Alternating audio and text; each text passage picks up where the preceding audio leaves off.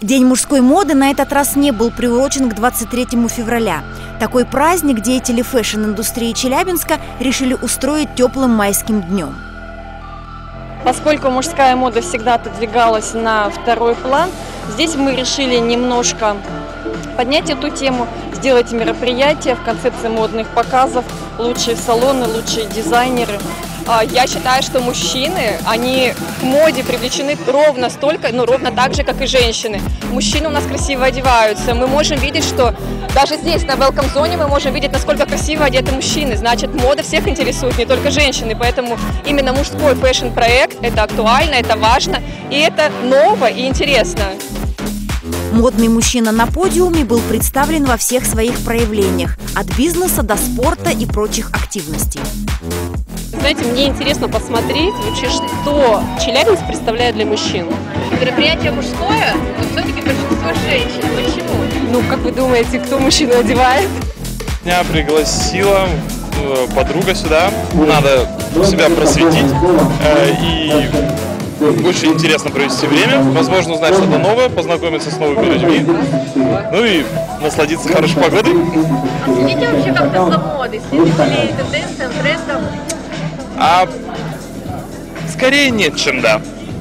Да, я стараюсь следить за модой.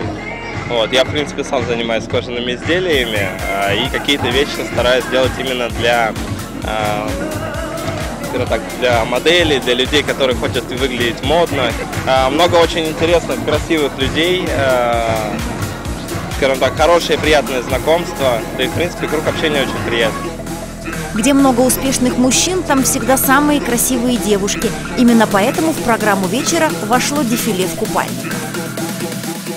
Я думаю, что сейчас очень э, важно следить за собой, и мужчины не исключение, как и девушки. Возможно, как мужчины бы постеснялись там поискать где-то э, ну, что-то связанное с модой, а здесь, когда ты можешь открыто увидеть самые модные, интересные тенденции. Почему нет? Я думаю, что мужчинам это вдвойне должно быть интересно.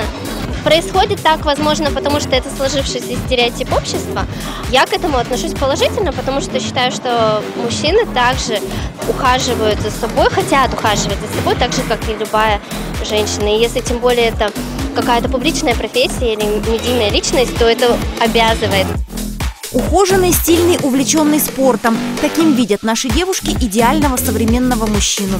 И судя по тому, сколько идей предложили в этот вечер партнеры проекта Men's Fashion Day, у челябинцев есть все, чтобы соответствовать этим запросам.